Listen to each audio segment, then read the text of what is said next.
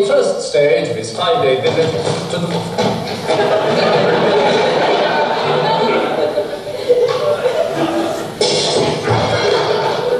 Somebody's stolen the news. There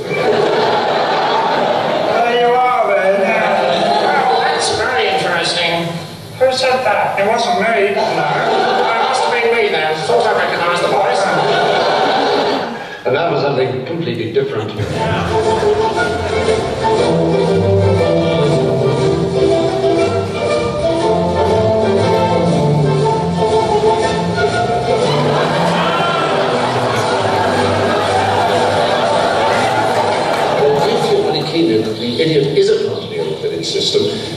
as such has a vital role to play in modern rural society.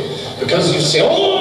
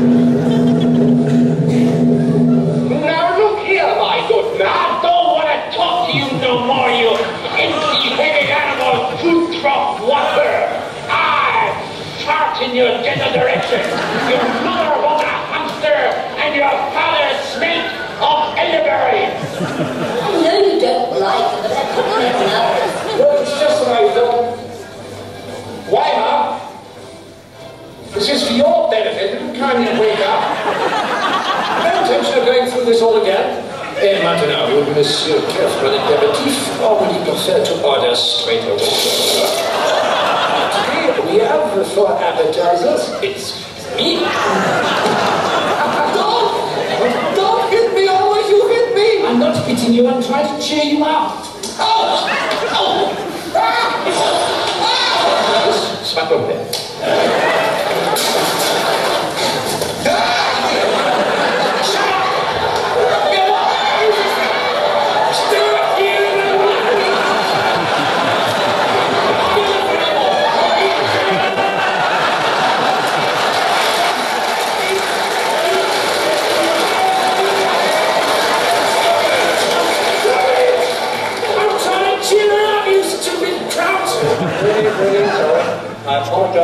not it. You take it back. I do.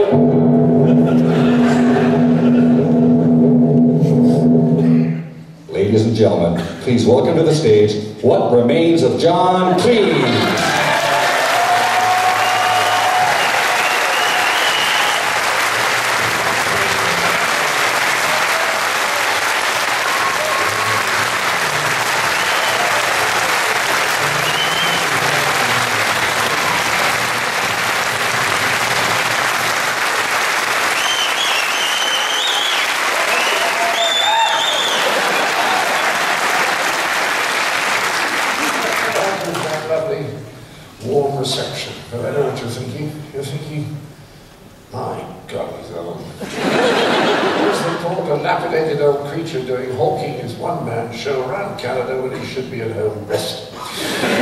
tell you, ladies and gentlemen, alimony.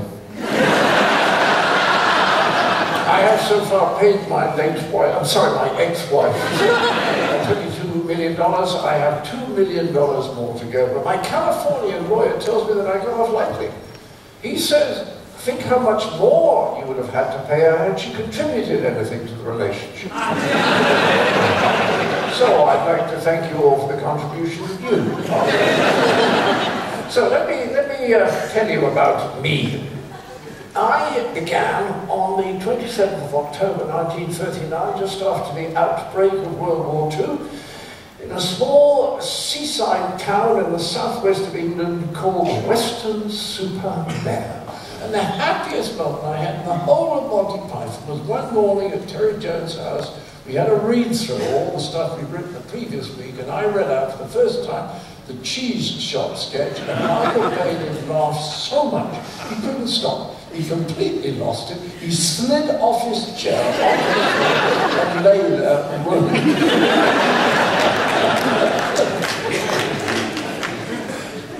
For me, that was the best year, best moment five years of Python. But the word that we all used about what we were doing was silly. We loved this word silly, and it was so great just to be as silly as we wanted. You know, if we were writing an interview sketch, instead of writing one like the one with Marty with an interviewee, we would interview a duck. Too liquid or something. I remember once talking to Graham Chapman in, in a dress in his pipe. he replied, well, I'd like to answer that question in two ways. First in my normal voice, and then in his silly high pitched white so liberating, just being as silly as we like. And when I asked the Pythons a couple of years ago what was the silliest thing we ever did, the answer was unanimous, the fish slapping dance.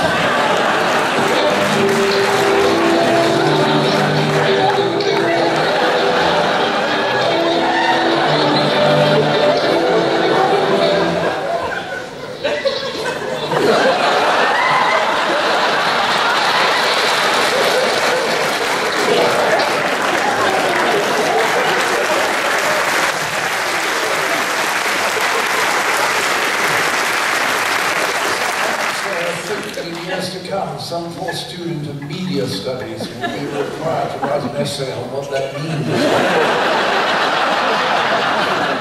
so we were doing the parrot sketch. And we got to the bit where the parrot, uh, where the pet owner goes off to the wings to see if he's got another parrot, know, to replace the one that's dead. And he comes back, he says, sorry, Squire, we're right out of parrots. And I said, I see, I see, I get the picture. And he said, I've got a slug. I say, does it talk? And Michael was supposed to say, not really, but on this occasion he said, well, it's muttering a bit tonight. so I, I break up I turn my back on the audience, and when I got myself under control, I turned back to Michael, and I've completely forgotten where we are. So I said to the front row, I was so relaxed, I said the front row, what's, what's the next line? And about 200 people in the audience shouted out. I said, this is ridiculous. You paid good money to come and hear me perform, and you know the fucking sketch better than I do. come up on stage and do it. Then we realized there were too many of them, so we came to a compromise. Michael did his lines, and the audience did the, my lines, but I conducted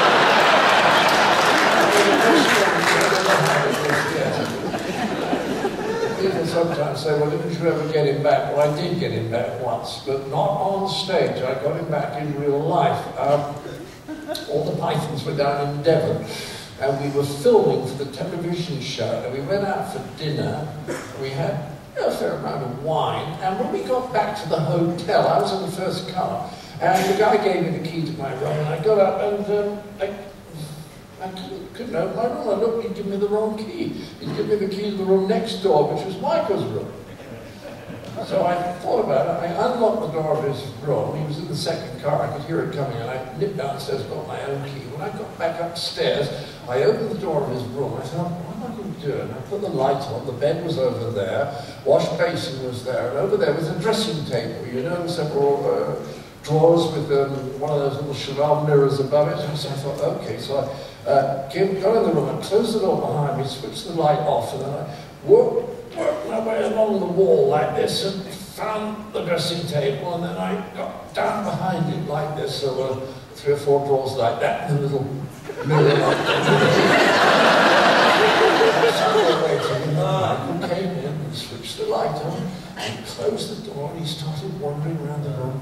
It's about 15, 20 feet away. I thought to myself, I cannot believe that he does not hear, know that I'm here. This is wonderful. And he suddenly turned and walked towards me. I thought, oh, he's seen me. And he came up to the mirror and said. I could have reached through and touched him, and then he walked away and he started undressing. Oh, God, I forgot I had a camera. He'd be so surprised in the morning, you know. And, and, and then he um, put his pajamas on and he brushed his teeth and he brushed his hair. And then he got into bed and he tucked himself up and he put his glasses on and he got his book out and he started to read. And at this point I realized that the joke is now on me. So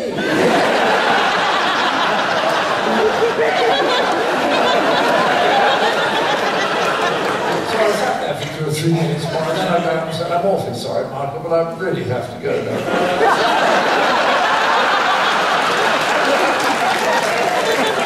Arthur, King of the Britons. I seek the finest and the bravest knights in the land to join me in my court at Camelot.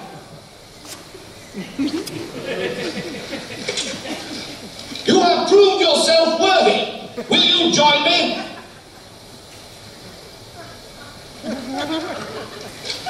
You make me sad. So be it. Come, Patsy. None shall pass. What? None shall pass. I have no quarrel with you, good Sir Knight, but I must cross this bridge. Then you shall die. I command you, as King of the Britons, to stand aside. I move for no man. So be it.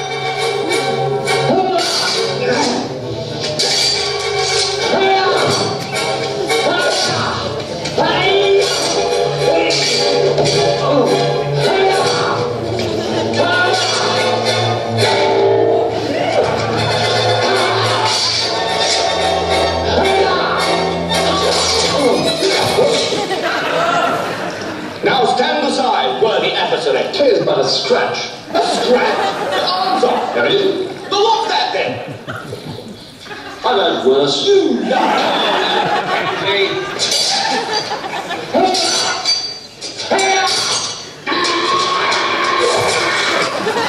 Victory is mine. We thank thee, Lord, that in thy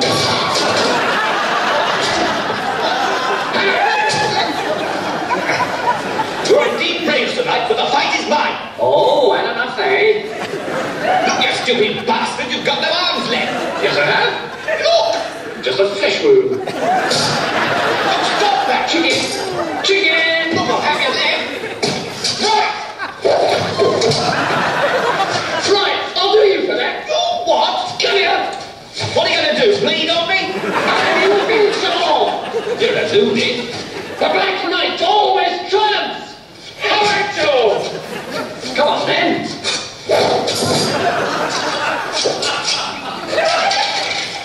All right. We'll call it a draw. Oh, oh, I see. Running away! You yellow bastards! Come back here and see what's coming to you! I'll bite your legs off!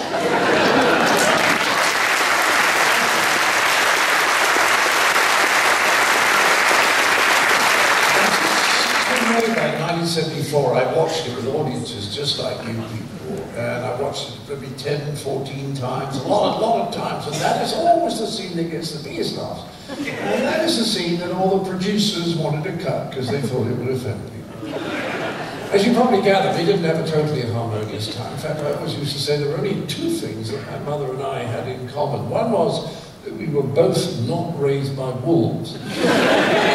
The other was that we shared this very blank sense of humour. Now, mother was obviously a depressed woman, right? Because people who are anxious and permanently scared, they're going to be depressed, aren't they? And our telephone conversations over the decades would go like this. I always made the call.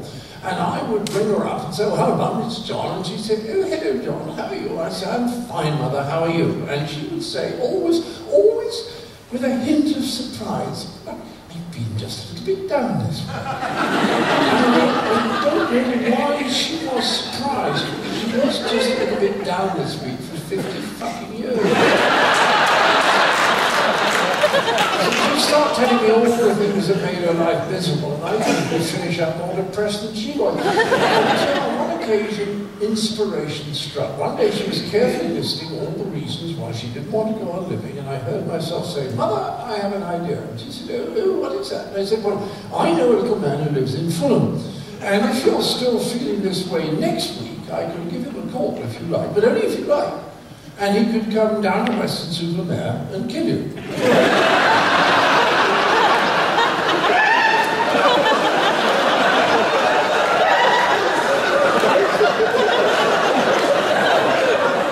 She cackled with laughter.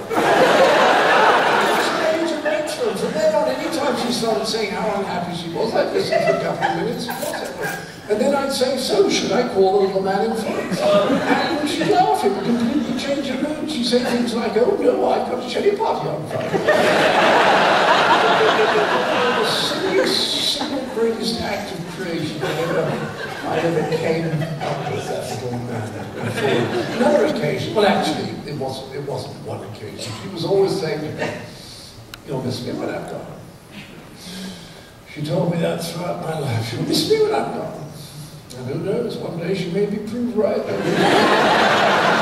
This one occasion, I think I was a bit bored because I said, no, I won't. And she said, why not? And I thought, whoops, whoops, I the line here. I said, because, Mother, when you die, I am going to take you to a taxidermist and have you stuffed. I'm going to put you in a glass case by the front door, and every time you go out, I shall wave to you. That was. I miss you. And she was really pleased. About this to everyone in the retirement home. She said, but I died, my son's going to have his I think it gave a great prestige. Little uh, seaside towns full of hotels, all of them run according to the basic British hotelier's motto. We could run this place properly if it wasn't for the guests. I Fawlty Towers at Torquay, it really was Weston-super-Mare in every important way. However, the hotel was based on the actual hotel was a real hotel in Torquay called Gleneagles, where Connie Booth and I stayed in the spring of 1970, and Connie and I wrote Fawlty Towers together. Actually, all the Pythons were staying there because we'd gone down to Devon to film the television series. And the first night we arrived, we all went down to the dining room for dinner, and we all sat around the same table. And for the very first time, I noticed the owner, Mr. Donald Sinclair, who became the model for Basil Fawlty. And he was walking around the dining room like this, you know, lord of all he surveyed, not helping or anything. He walked past the Python table and he suddenly stared at Terry Gilliam because Terry had ordered a steak, and Terry's American, so he ate a steak as the Americans eat it. He cut the meat up with the right hand, and then he put the knife down, he took the fork in the right hand, he speared the meat and ate it like that. And Mr. Sinclair stared at him, and then he said, we don't eat like that in this country. Next, next morning, all the pythons left to stay at the Imperial Hotel, but and I stayed on, and I don't know why, maybe it was inertia. Or, or maybe it was curiosity, because Mr. Sinclair was the most gloriously rude man I've ever He would sit at the reception desk just staring at his face, and then he would sense a guest coming and immediately pretend he was to deal with them. They'd walk over to the desk, and eventually they'd say, excuse me, he'd say, oh, what?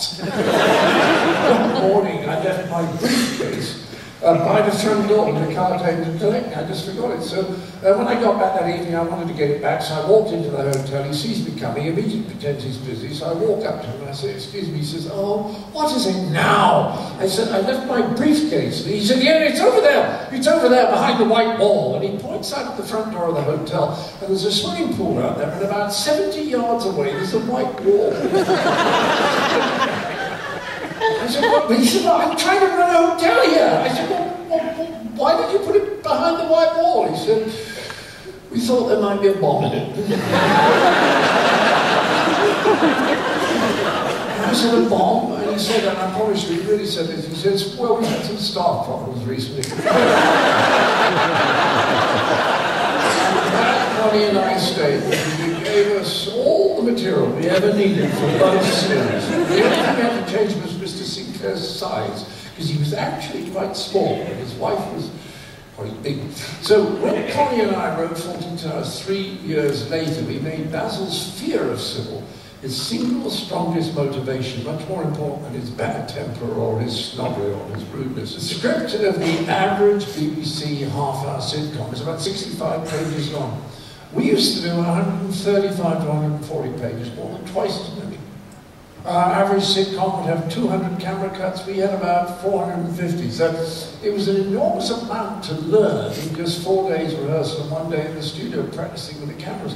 And in the whole of Fawlty Towers, or 12 episodes, we never completed a single dress rehearsal. That's how frantic it was. So the only reason that it looks as good as it does is that we spent an extraordinary amount of time um, editing you know, just taking out a pause there and a little fluff there, and we take that out, and we tighten that up there, and we get the whole thing going along at a crisp pace. And I want to show you an example of this, which just happens to be my favourite moment in the whole series, it might surprise you. It's the fire drill. Because there's always been something ridiculous to me about staging a fire drill exactly when everyone knows that it's going to happen. And then Connie and I added an extra idea, and that is that the burglar alarm on the safe goes off by accident just before the drill is due to begin. You know where it is? So she has to come along and move the damn thing so I can finally go. Well, once she put that on, oh, I again. Sorry, sorry, Major. Only the burglar alarm. Sorry, Miss Tibbs. What? Uh, that was the burglar alarm. Fire drills on for a couple of minutes. Sorry, excuse me. Uh, no, no, uh, my wife left the, uh, excuse me. Yes? Uh, sorry, that wasn't the fire bell. Sorry, that was just the, Oh, I uh, thought it was a drill. yes, there is at 12 o'clock, but not yet. But it is 12 o'clock. Well, not quite. Thank you. Excuse me.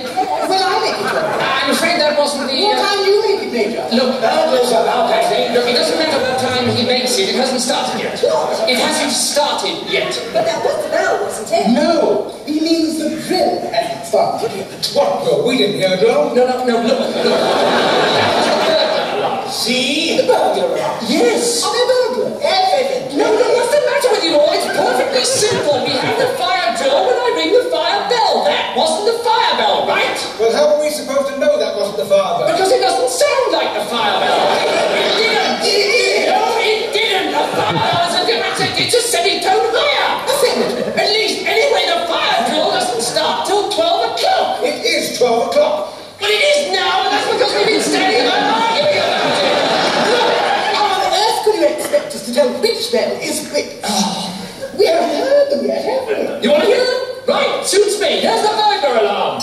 Ought we to catch them first?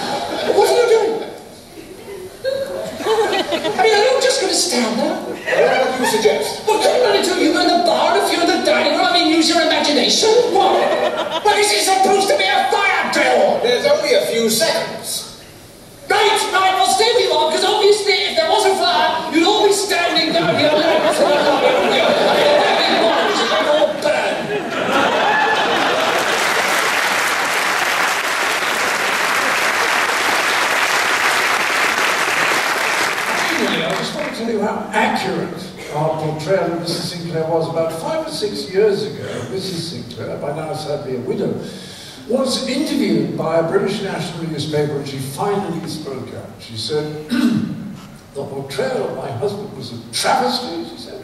He was a perfect English gentleman, and a war hero, and we ran the hotel very efficiently. He was nothing like Basil Fawlty at all. The next day, the letters started pouring in, not just, not just from former guests, but from the Sinclair's old employees. Each letter said, no, no, he was exactly like now, almost everything that you... Kick the bucket, off the twig, hit the dust, snuffed it, breathed his last, and to meet the great head of light entertainment in the sky. And I guess we're all thinking how sad it is that a man of such talent, of such capability the kindness, of such unusual intelligence, should now so suddenly be spirited away at the age of only 48 before he'd achieved many of the things of which he was capable and before he'd had enough fun. Well, I feel that I should say nothing. Good riddance to him, the freeloading bastard I know I I should say this is he would never forgive me if I didn't, if I threw, threw away this glorious opportunity to shock you all on his behalf. Anything for him but mindless good taste. I could hear him whispering in my ear last night as I was writing this, all right, please, he was saying, you're very proud of being the very first person ever to say shit on British television. If this service is really just for starters, I want you to become the first person ever at a British memorial service to say fuck.